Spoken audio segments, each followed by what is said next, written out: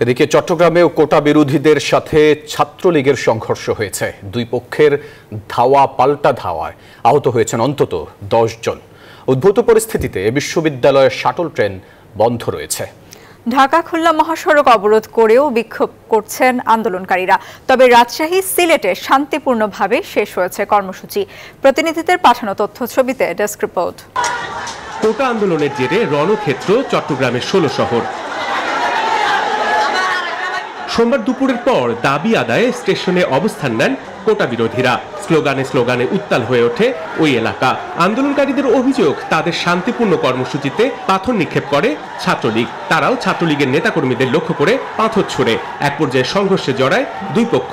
আমরা শান্তিপূর্ণ আন্দোলন করতেছি এই ছাত্রলীগের পোলা বানাসে একটি পাথর মারা শুরু করছে আমাদের উপর। রাফি ভাইকে সমন্বয়কারী সমন্বয়কারীকে ওখানে আটকে রাখা হয়েছে। সাবি নিয়ে ফেলা হয়েছে ট্রেনের। আমাদের পিছনে পুলিশ থাকা সত্ত্বেও ছাত্রলীগের ছেলেরা কীভাবে আমাদেরকে হাত তুলতে পারে? সংঘর্ষের কারণে বন্ধ হয়ে যায় চট্টগ্রাম কক্সবাজার রুটের যান চলাচল। চরম ভোগান্তিতে পড়েন ওই পথের যাত্রীরা।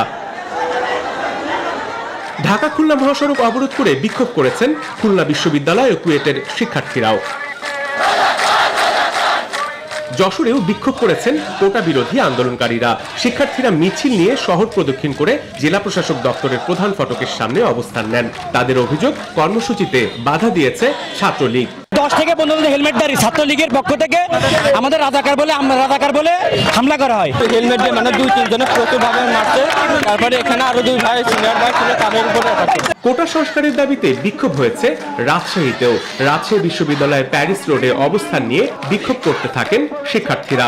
এর আগে রাজশাহী প্রকৌশল ও প্রযুক্তি বিশ্ববিদ্যালয় থেকেও শিক্ষার্থীরা এসে বিক্ষোভে যোগ দেন। আমাদের একটাই দাবি, আমাদের কোটা পোতা বাতিল করতে হবে এবং শিক্ষার্থীদের দাবি মানতে হবে। সিলেট শাহজালাল বিজ্ঞান ও প্রযুক্তি বিশ্ববিদ্যালয়ের প্রধান ফটকের সামনে অবস্থান নেন শিক্ষার্থীরা। সোমবার দুপুর বারোটা থেকে একটা পর্যন্ত চলে তাদের এই কর্মসূচি।